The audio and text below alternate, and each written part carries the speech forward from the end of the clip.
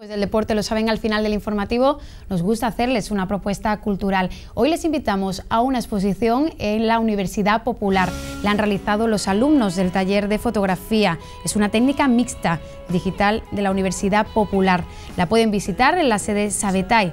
Hoy con estas fotografías nos despedimos. Recuerden que todavía les queda la previsión meteorológica.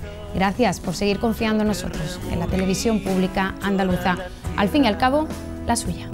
Besarte en la boca, tuve que matar a todas las fieras. Aposté diez mil a Cassandra y perdí. Encontré